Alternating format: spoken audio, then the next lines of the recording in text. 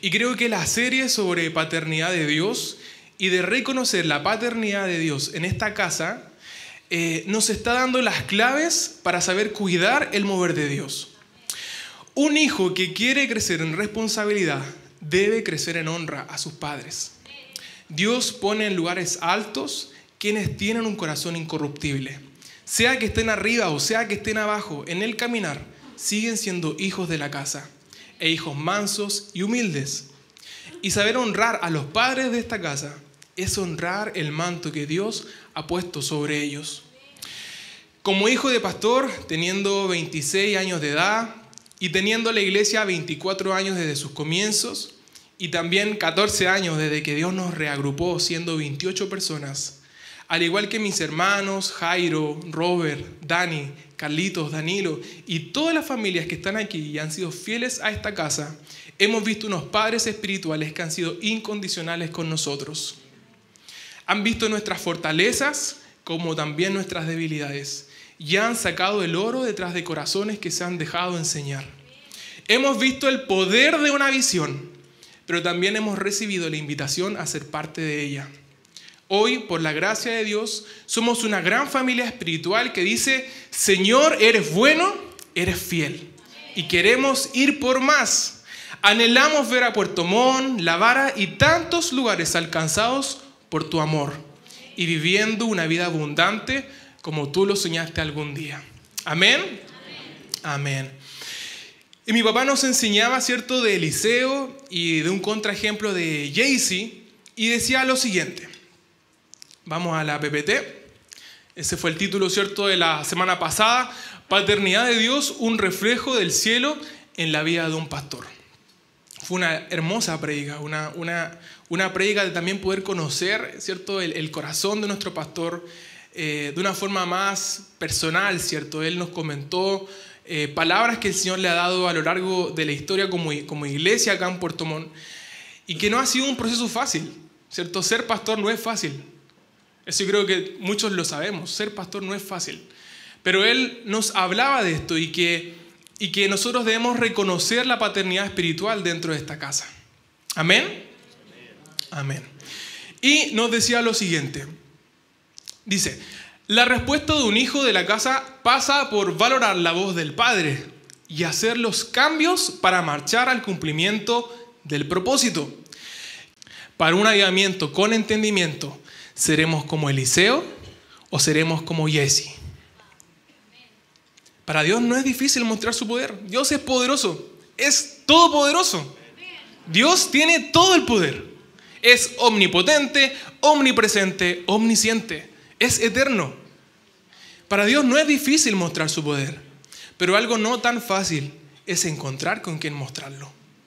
Para un avivamiento con entendimiento, que es una manifestación de su poder, ¿Seremos como Eliseo o seremos como Jaycee? En el año del avivamiento con entendimiento, Dios está entrenando los corazones de hijos e hijas que desean ir por más, pero nunca pierden la capacidad de aprender y de ser enseñables. Un discípulo deja de ser discípulo cuando decide dejar de aprender. Yo quiero ser un discípulo de Jesús. ¿Tú quieres ser un discípulo de Jesús?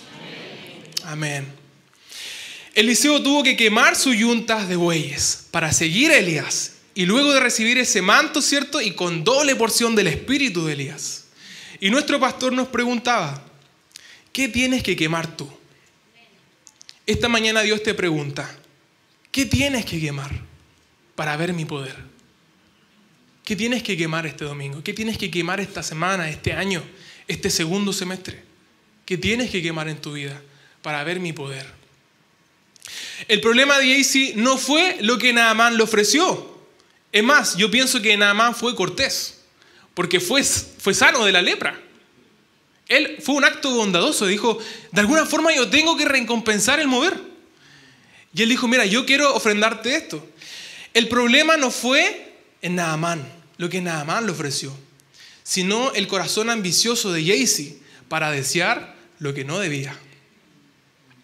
Yo les contaba recién el, testimonio de, irme a, a Bethel y semanas antes de renunciar, mi jefa me llama a su oficina y me dice, Enoch, queremos darte más responsabilidades.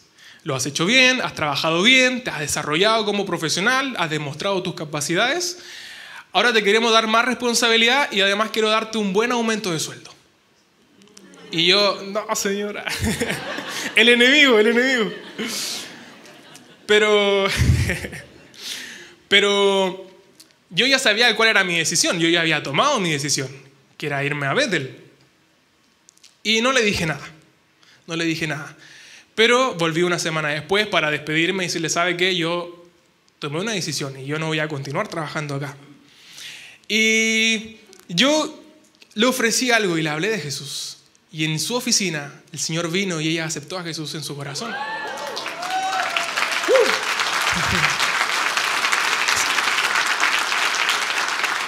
Y, el Señor ha sido fiel y, Dios vino ahí, la presencia de Dios vino con mucha paz, con mucha paz. No les voy a decir quién es, pero ha sido una persona que igual no lo ha pasado bien este último tiempo. Pero Dios fue bueno. Pero a veces nosotros tenemos que quemar esa yunta de bueyes. El error no está en nada más ni en su acto de cortesía para recompensar ese milagro, sino en el corazón de Jaycee para dejar esa recompensa para sí. En los avivamientos que han existido, los milagros, señales y prodigios son algo continuo, porque es Dios moviéndose donde esa tierra fue preparada. Es su amor, es su presencia tangible. Pero esos avivamientos, una vez que comienzan, solo se mantienen con hombres y mujeres de carácter. Y el carácter de Jesús. Miren lo que dice. Por un lado, Eliseo quema sus yuntas de bueyes para tomar el propósito de Dios. Y por otro lado, Jaycee toma para sí lo que no es suyo y pierde el propósito de Dios. Para quienes amamos a Dios, la voz de un Padre Espiritual nos guía a tener claridad en qué tomar y qué soltar en nuestras vidas. Amén. Qué tremendo. Por un lado, Eliseo quema su yunta de bueyes para tomar el propósito de Dios. Y por otro lado, Jaycee toma para sí lo que no es suyo y pierde el propósito de Dios. Y yo quiero entrar, ¿cierto familia? Y todos queremos entrar en un avivamiento con entendimiento. ¿Cuántos quieren entrar en un avivamiento con entendimiento? Todos queremos entrar. Por lo tanto, Dios nos invita a su avivamiento. Pero ahora Él nos enseña cómo cuidarlo. Y esta es la parte 3 de la serie de paternidad espiritual. Yo le puse paternidad de Dios, el corazón de hijos avivados. Amén.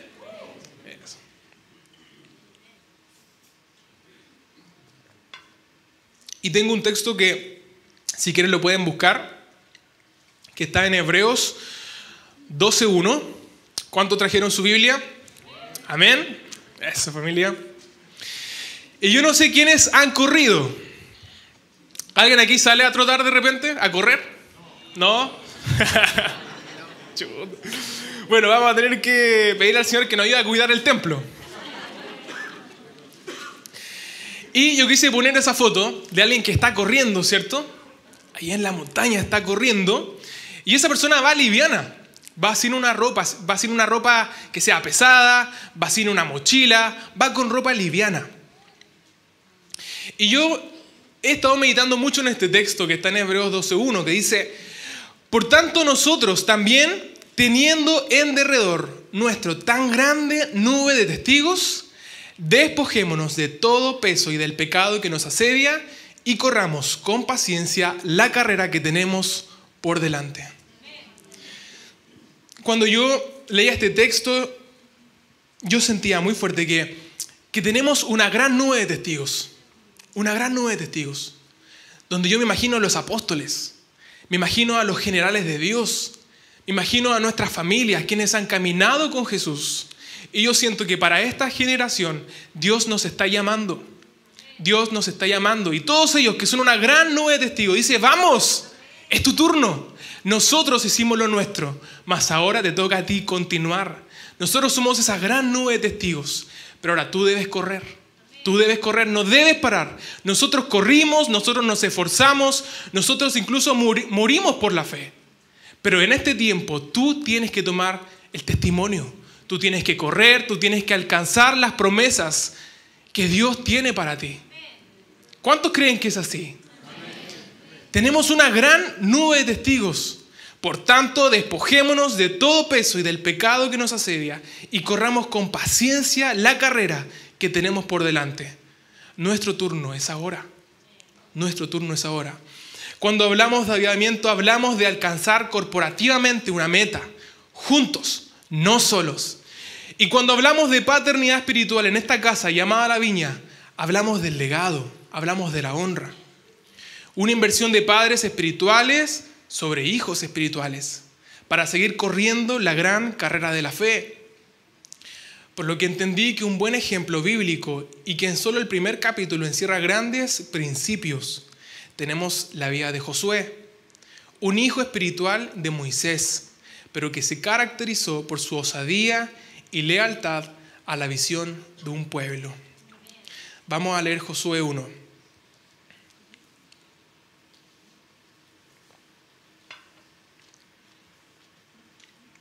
Vamos familia.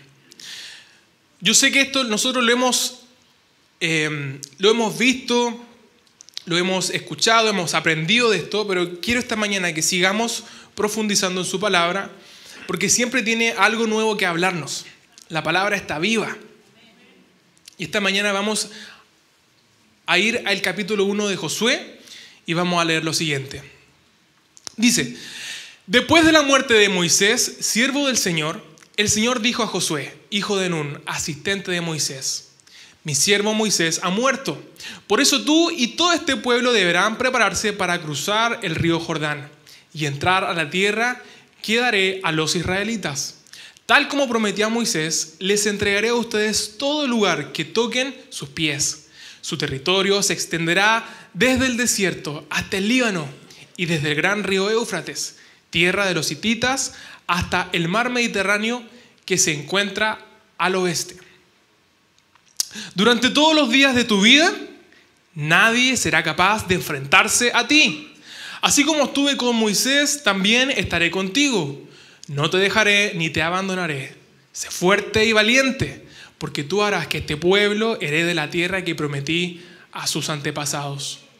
Solo te pido que seas fuerte y muy valiente para obedecer toda la ley que mi siervo Moisés te ordenó. No te apartes de ella, ni a derecha ni a izquierda Solo así tendrás éxito donde quiera que vayas. Recita siempre el libro de la ley y medita en él de día y de noche. Cumple con cuidado todo lo que en él está escrito. Así prosperarás y tendrás éxito. Ya te lo he ordenado, sé fuerte y valiente. No tengas miedo ni te desanimes, porque el Señor tu Dios te acompañará donde quiera que vayas. Entonces Josué dio la siguiente orden a los oficiales del pueblo. Vayan por todo el campamento y díganle al pueblo que prepare provisiones, porque dentro de tres días cruzará el río Jordán para tomar posesión de la tierra que Dios, el Señor, le da como herencia. Amén. Y vamos a ir desglosando este texto en seis puntos. Y vamos a ir con el primero. Josué aprendió de un Moisés. Después de la muerte de Moisés, siervo del Señor, el Señor dijo a Josué, hijo de Nun, asistente de Moisés, mi siervo Moisés ha muerto, por eso tú y todo este pueblo deberán prepararse para cruzar el río Jordán y entrar a la tierra que les daré a los israelitas.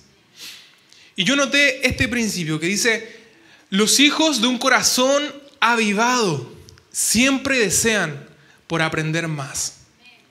Hay una constante en sus vidas y es que siempre tienen hambre de Dios. Yo, como muchos hijos que hay en este lugar, somos el resultado de padres que se han invertido en sus hijos. Hay un legado generacional. También en esta casa yo honro y esta mañana honro a los que son primeros cristianos en sus familias. Los honro porque ustedes están tomando un legado para sus generaciones. Quizás no tuvieron un padre que les hablara de Jesús, o un abuelito o una abuelita. Ustedes tuvieron que tomar la decisión por sí solos. pero ustedes están entregando un legado a sus generaciones. Mi papá comentaba que él pasa cierto dos días completos preparando la prédica. Y es a través de su ejemplo que yo he visto en años que hoy día Dios me permite estar aquí enseñando o compartiendo. Porque yo vi el ejemplo de un padre. Un hijo no solo aprende de las palabras de su padre, sino que también sigue un ejemplo, un ejemplo de vida, un modo de vivir. Por eso Josué aprendió de un Moisés. Josué era asistente de Moisés. Y Moisés era un siervo de Dios. Segundo, los hijos toman las promesas sobre la casa y son suyas por fe. Los hijos toman las promesas sobre la casa y son suyas por fe.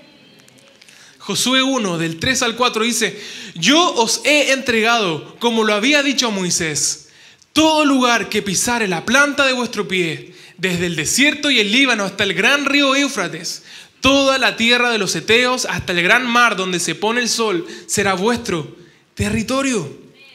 Los hijos toman las promesas sobre la casa y son suyas por fe. El encargo sobre la vida de Josué no era cumplir sus sueños, sino cumplir el sueño de Dios sobre un pueblo. Yo creo que Dios nos está desafiando. Dios nos dice, mira, el encargo sobre tu vida no está precisamente en yo querer cumplir tus sueños, sino cumplir el sueño de Dios sobre un pueblo. Yo quiero ser desafiado esta mañana. ¿Tú quieres ser desafiado? Tenemos que tomar decisiones. Los hijos avivados toman el encargo, toman el sueño, lo viven. El encargo sobre la vida de Josué era cumplir sus sueños sino cumplir el sueño de Dios sobre un pueblo. Dios no le dijo, será tu territorio, sino vuestro territorio. ¿Hasta qué punto estoy dejando la recompensa personal, enfocándome en la recompensa celestial? Robert siempre da un ejemplo que yo lo encuentro súper práctico, que lo ha mencionado en varias reuniones de jóvenes, y él dice, si tus expectativas son así, Dios va a superar hasta ahí. Si tus expectativas son hasta aquí, Dios va a superar hasta aquí. Pero si tus expectativas están ahí, Dios va a superar hasta ahí arriba. Todo depende de nuestro nivel de hambre, de nuestro nivel de fe. Todo depende de eso. Si tienes un hambre grande, Dios tendrá harto que saciar. ¿Cuántos anhelamos más de Dios? Los hijos avivados son verdaderos soñadores, son prácticos y realistas.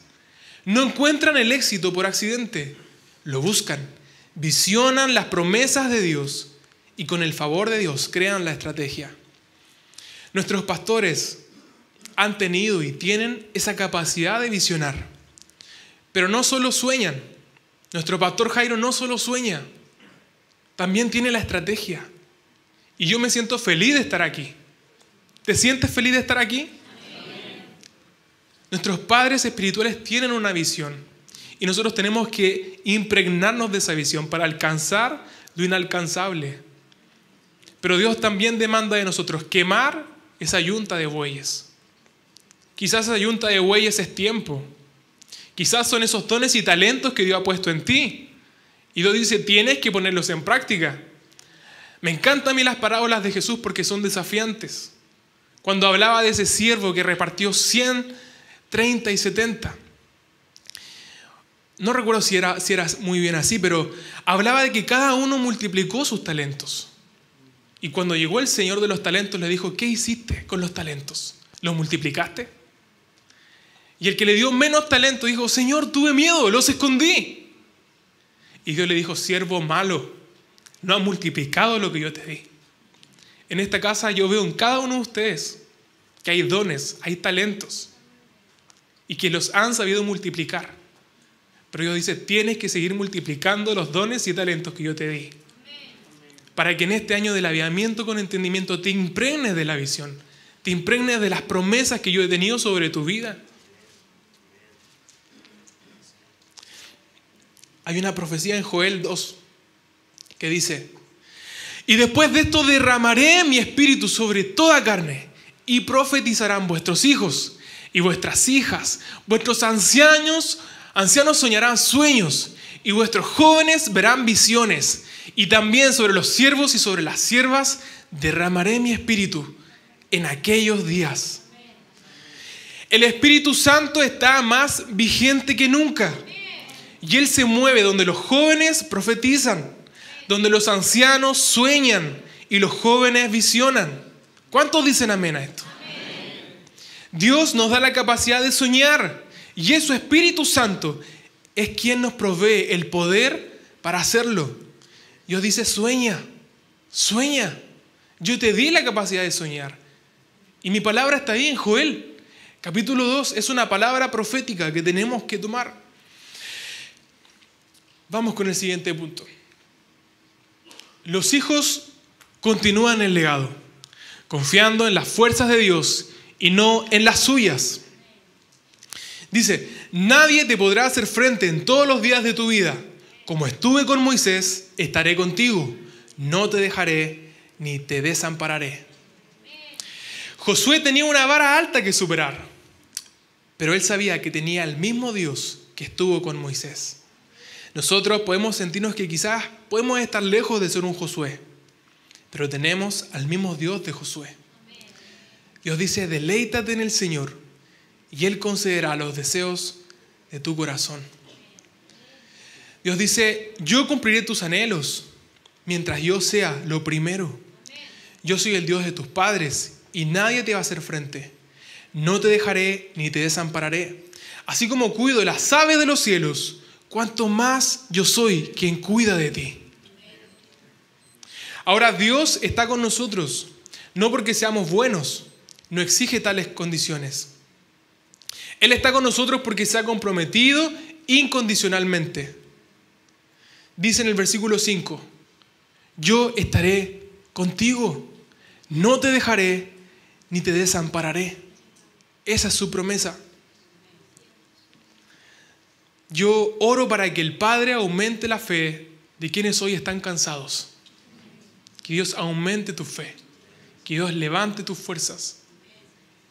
Que te rejuvenezcas que Dios te levante.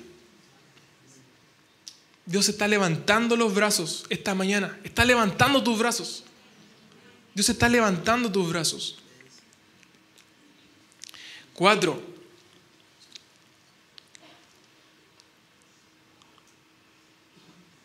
Los hijos se esfuerzan por alcanzar las promesas de Dios y son valientes. Y acá Dios le repite tres veces a Josué.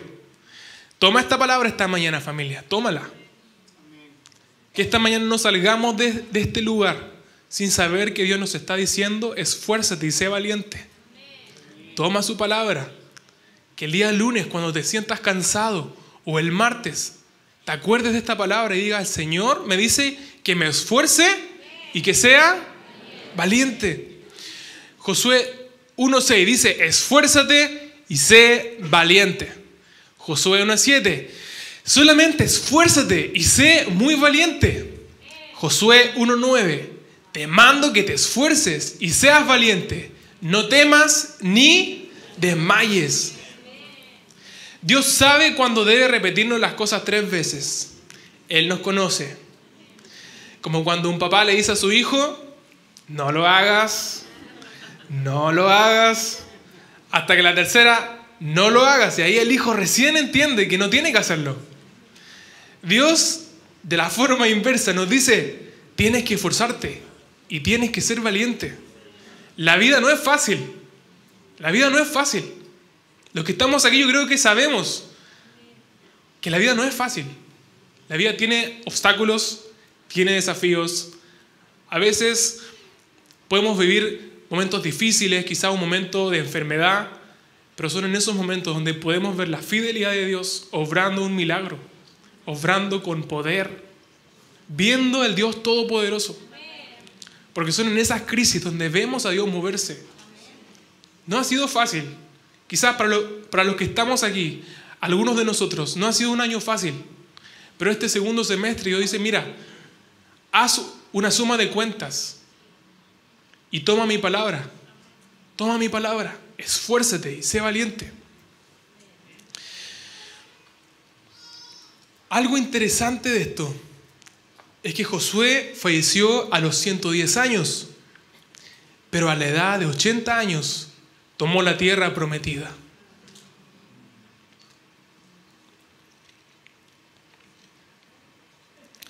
Dios sabe que podemos sentirnos cansados o bien dudamos de sus promesas.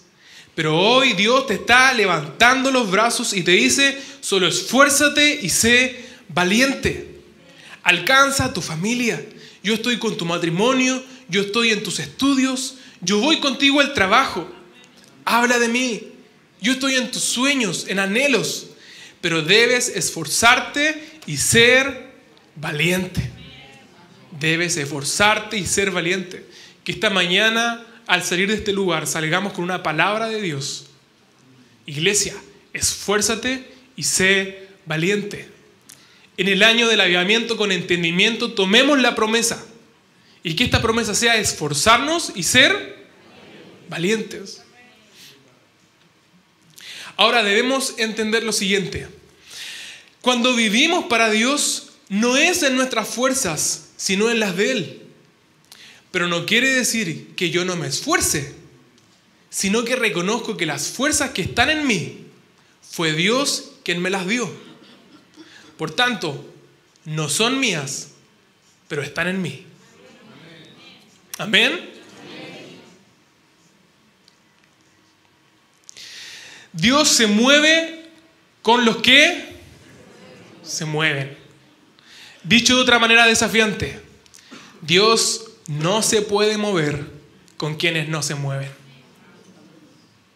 Dios se mueve con los que se mueven. Pero Dios no se puede mover con quienes no se mueven. Yo he estado leyendo, bueno, diferentes libros. Dios ya me, me corrigió, sí. Me dijo, estás leyendo muchos libros. Pero vamos a tener que aplicar una razón, me dijo, de los dos tercios. Me dijo, vas, me dijo, tienes que empezar a leer mi palabra de ese 100% del tiempo que tienes para eso. El 66,6, si no me equivoco, tiene que ser leyendo mi palabra y el otro tercio leyendo estos libros. Y uno de los libros que que estoy terminando de leer, si es que no me quedan unas quizás 15 páginas, es un libro que se llama Los Generales de Dios. Y es un libro muy poderoso porque una de las cosas que hace es que amplifica tu fe y tu visión de ver lo que hombres comunes y corrientes pueden hacer para el reino de Dios. Es un libro muy desafiante. Si sientes que tu fe de repente está como decaída, lee esto. Obviamente tenemos un libro que es aún más poderoso, que es la Biblia, la palabra de Dios. Este libro es poderoso. Este libro es peligroso. Pero yo leí ese libro y me llamó tanto la atención algo de un hombre de Dios que se llamaba Charles Farman, que fue nombrado como uno de los padres del pentecostalismo en el año 1890 más o menos. Y él decía que él amaba tanto a Dios y quería ver a Dios moverse. Quería ver la mano de Dios, quería ver el avivamiento. Que él, su trabajo era cuidar vacas. Y este libro menciona que él practicaba sus grandes sermones predicándole a las vacas. Y Dios vio la fe de ese hombre. Y dijo, ese hombre me sirve para mi reino predicándole las vacas. Y ese hombre se convirtió en un tremendo hombre de Dios con milagros, con prodigios, haciendo cosas locas. Pero Dios vio la fe de ese hombre predicándole a las vacas.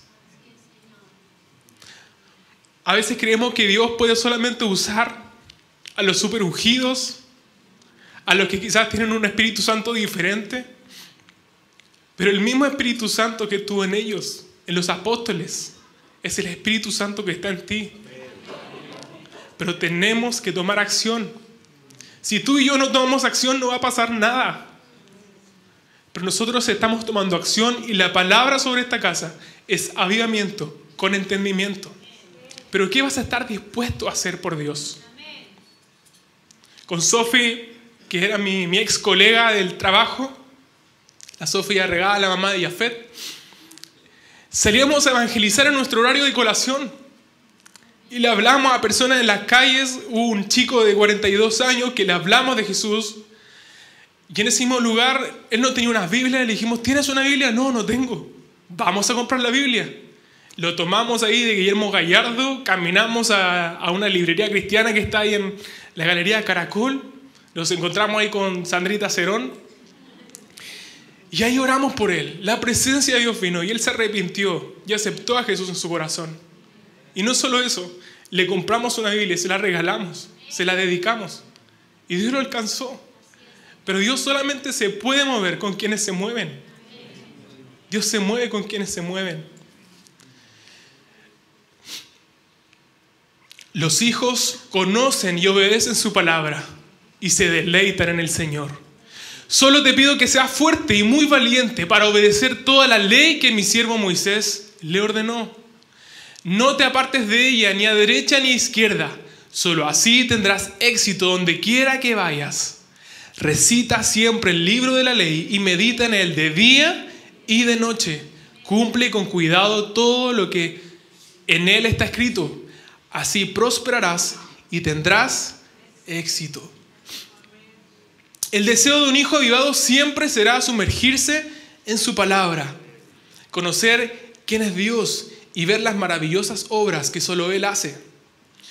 Y hay un principio que siempre se cumple, y es que la palabra y el espíritu trabajan colaborativamente. La palabra y el espíritu trabajan colaborativamente.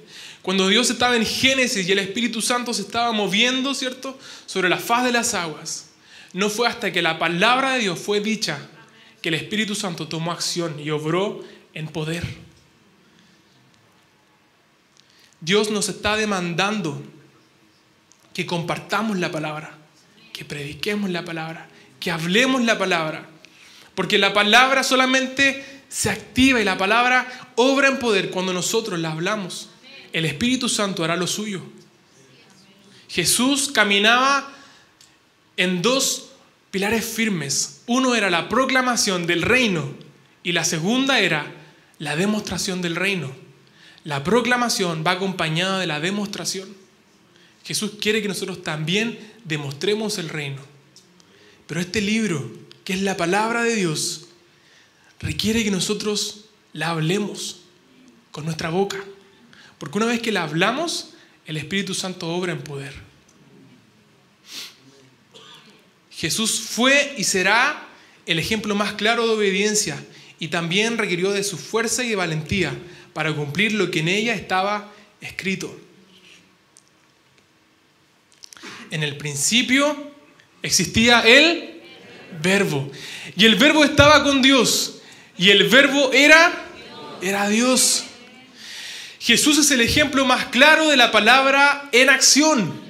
En Juan 1.1 Jesús no es ni un sustantivo, ni un adjetivo. Jesús es el verbo, es la palabra en acción. Por lo tanto, el modelo de Jesús es vivir su palabra, es poner la palabra en acción. Josué vivió esa palabra en acción. Vivió la palabra en acción. Sexto y último, si pueden subir los músicos.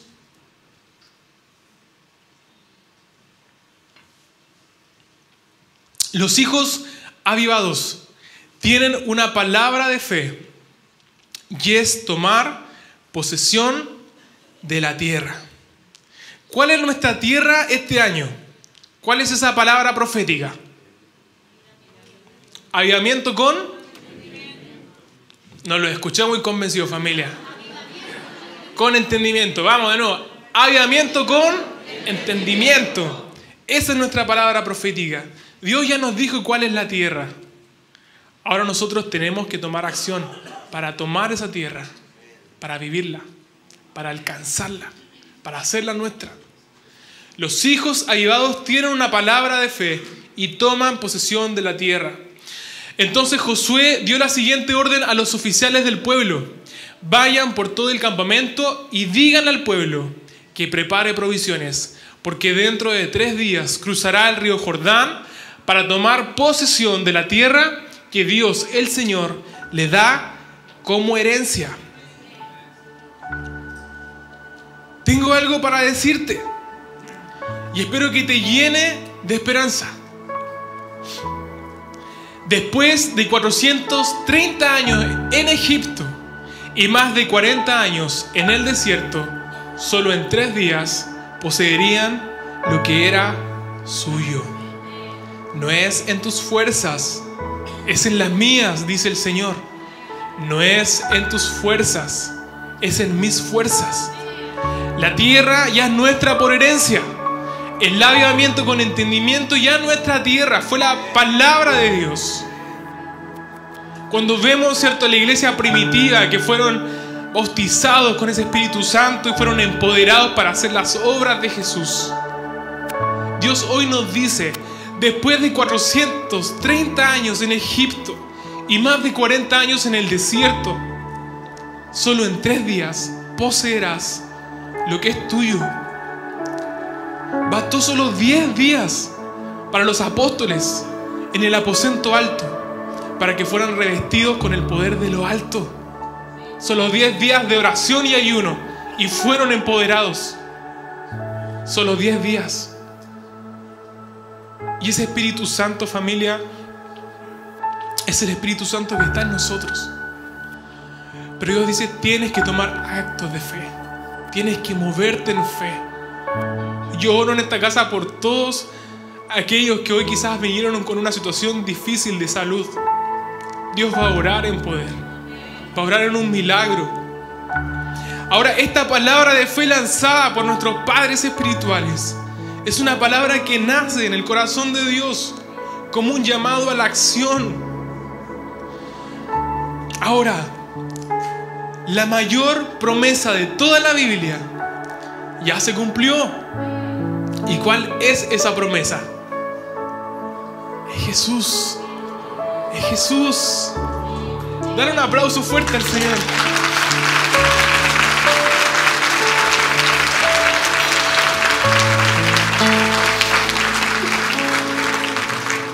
Jesús, es Jesús. Y mira lo que el Señor nos dice esta mañana y nos levanta los brazos.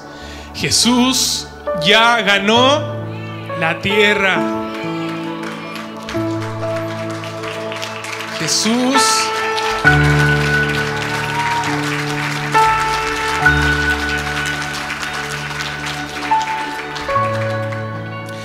Todas las promesas que ha hecho Dios son sí en Cristo.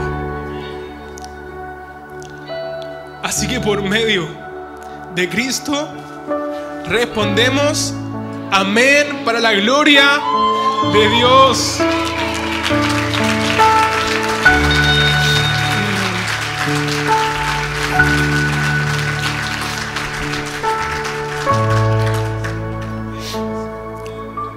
Espíritu Santo,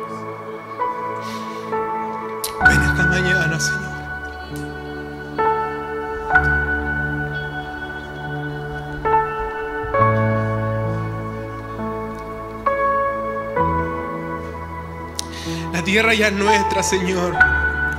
Ya fue ganada en la cruz. Pero tú demandas de nosotros, Señor, que seamos valientes y que nos esforcemos, Señor. Alcanzar, Señor, esa tierra prometida.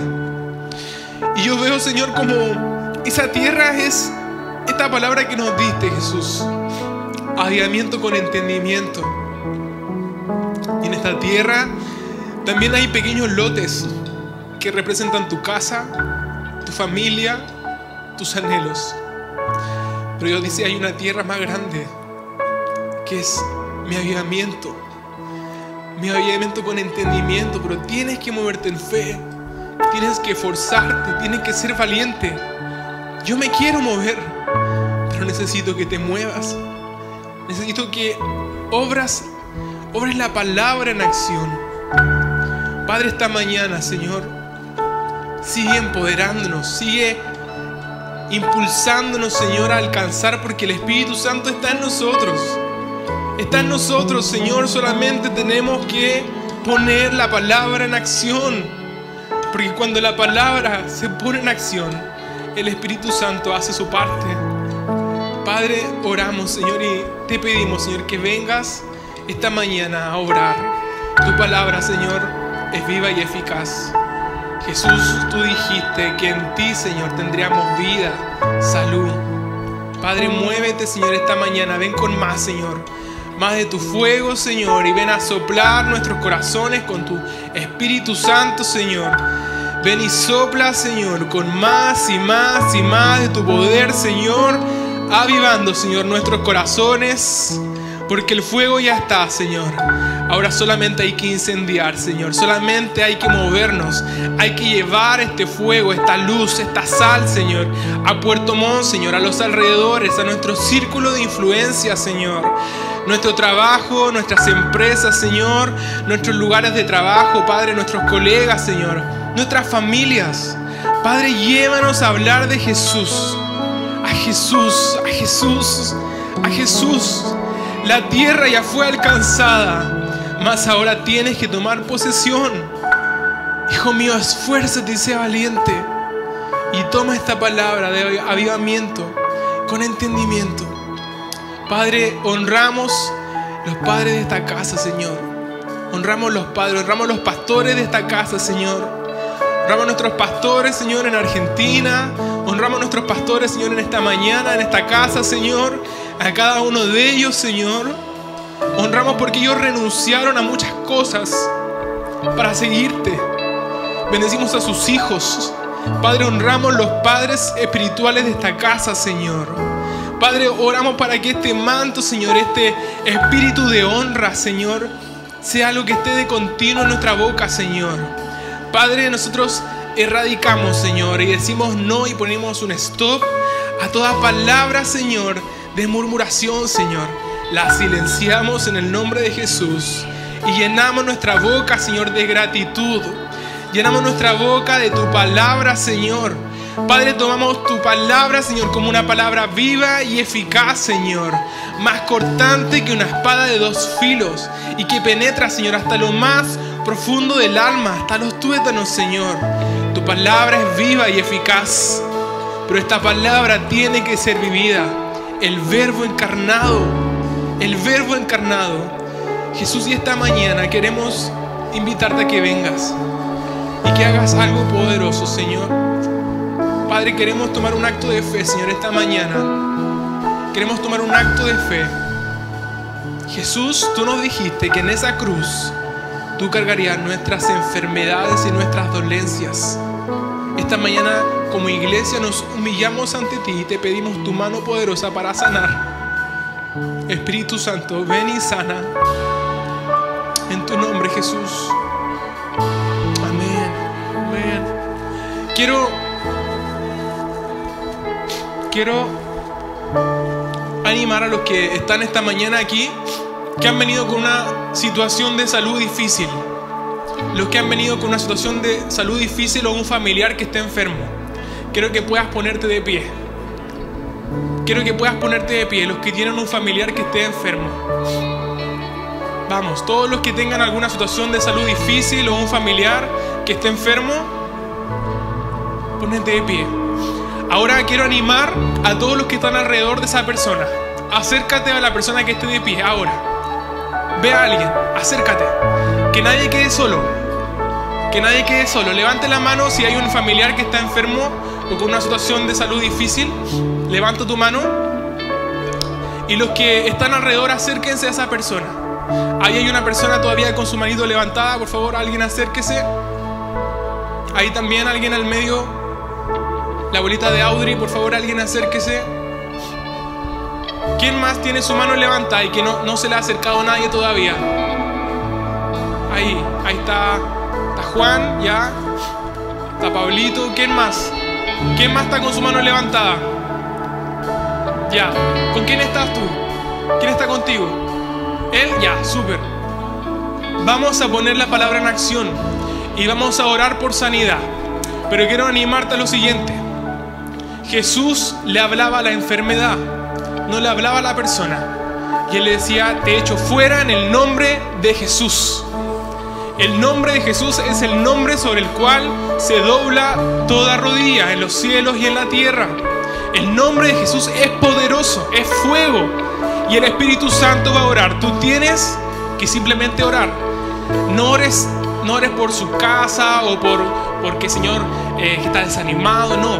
Ora por la enfermedad y reprende la enfermedad y échala fuera en el nombre de Jesús. Tú le dices, enfermedad, te echo fuera en el nombre de Jesús. No más. Te vas. Te vas. Células ahora responden. Huesos comienzan a ser sanos. Músculos comienzan a regenerarse. En el poder de Jesús. En el poder de Jesús. Los avivamientos se caracterizan por milagros, señales y prodigios.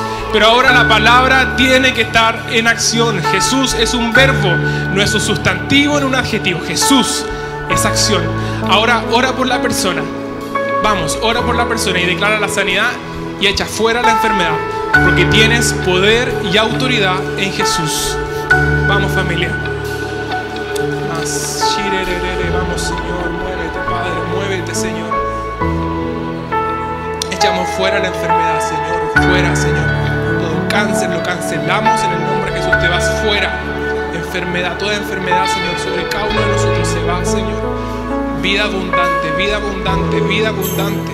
Ríos de agua viva Señor, vida abundante. Más Señor, un manto de sanidad. Muévete, muévete Señor. Espíritu Santo, muévete con poder. Vamos, Espíritu Santo, haz lo tuyo, haz lo tuyo.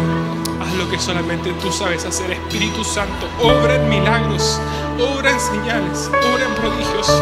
Vamos, Espíritu Santo. Haz lo tuyo, haz lo tuyo. Vamos, Espíritu Santo.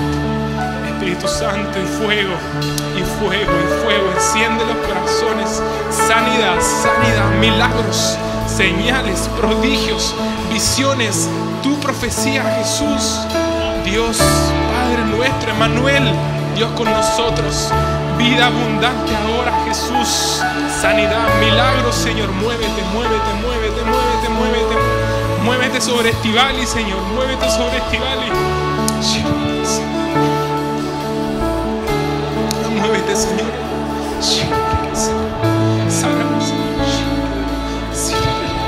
Vamos, Espíritu Santo, a lo tuyo.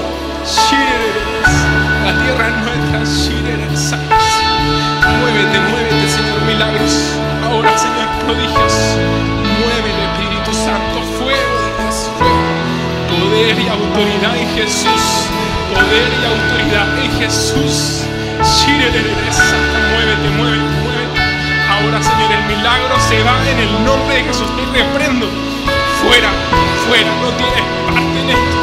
Porque Jesús se llevó la enfermedad en la cruz.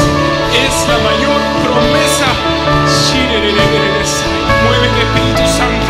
Haz lo tuyo, poder, autoridad, milagros, señales,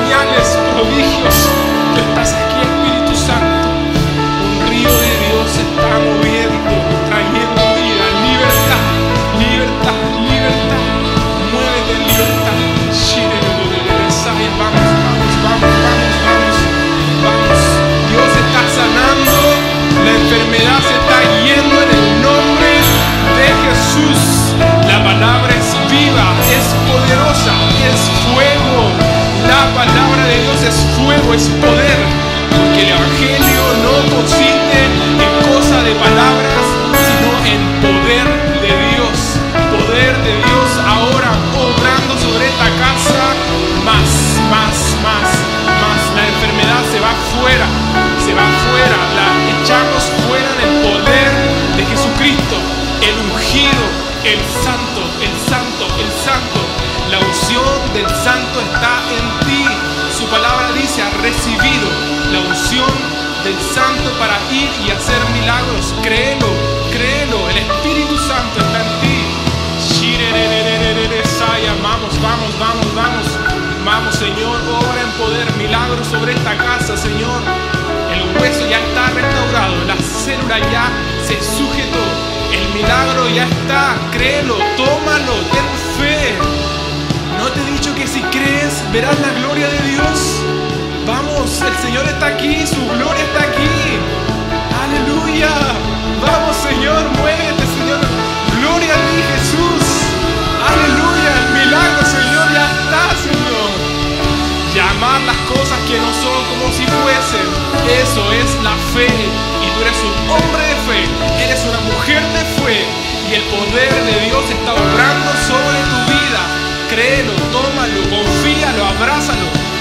tierra ya fue ganada.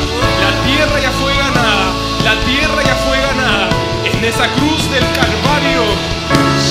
Vamos, Señor, muévete, Espíritu Santo. Ya has hecho lo tuyo. Ya has hecho lo tuyo. Nosotros obedecimos. Ahora el Espíritu Santo está obrando. Ahora el Espíritu Santo está haciendo lo suyo. No es en tus fuerzas, es el Espíritu Santo el que hace la obra. Tú solo liberas la palabra el Espíritu Santo te respalda. Dios busca hombres y mujeres de fe. Ahora en el nombre de Jesús. Gracias Señor. Gracias Espíritu Santo. Aleluya. Aleluya. Gracias Jesús. Gracias Jesús. ¿Por qué no le das un aplauso por el milagro que Dios lo hizo? Aleluya. Shirerere,